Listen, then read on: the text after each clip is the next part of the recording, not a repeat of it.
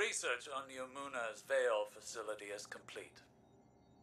As the report is uh, lengthy, I will summarize.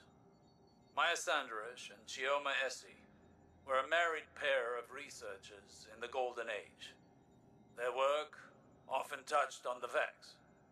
They found an object on Neptune that whispered to Maya in her own voice. That artifact, the Veil, is of the darkness, as the Traveler is of the light. Maya grew obsessed with it.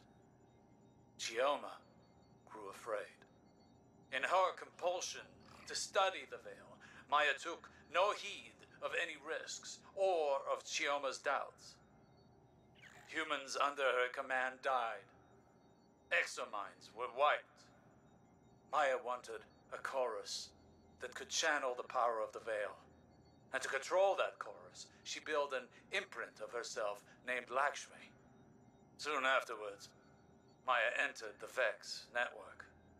She left no trace. Chioma exiled Lakshmi, shut down all Veil research, and redacted it from Neomuna's history. In a final act, Chioma entered the network herself. Other Mayas and Chiomas were already inside, simulated hundreds of times by the Vex. It's possible that the Echo brought many Mayas together into the conductor. Or perhaps only the first.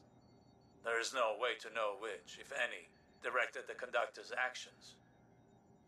But it would be folly to underestimate any Maya Sundaresh.